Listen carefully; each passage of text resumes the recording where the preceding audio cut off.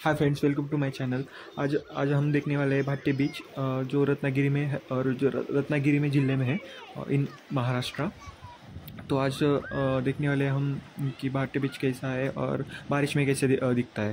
तो सो लेट्स गो सबसे पहले आपने अ, हमारे चैनल पे चैनल को सब्सक्राइब नहीं किया तो प्लीज़ प्लीज़ फ़र्स्ट चैनल को सब्सक्राइब करें सो दैट आपको ऐसे अ, हर रोज़ अलग अलग वीडियो मिल जाएँगे।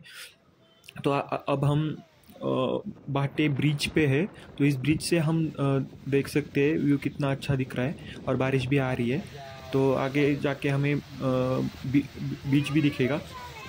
So let's go